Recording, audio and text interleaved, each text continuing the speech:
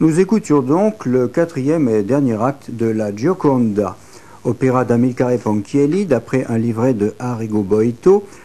livret lui-même inspiré de Angelo Tyran de Padoue de Victor Hugo. Cet opéra fut représenté pour la première fois à la Scala de Milan le 8 avril 1876. Cette année-là, Renoir peignait le Moulin de la Galette et Puvis Chavannes les fresques du Panthéon.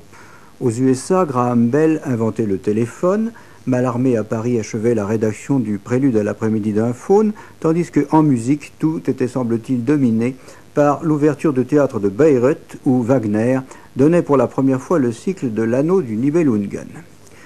L'enregistrement que nous venons d'entendre a été réalisé, lui, en 1957. On a pu admirer sa prise de son sans ride et nous y avons applaudi Robert Merrill, baryton, dans le rôle de Barnaba,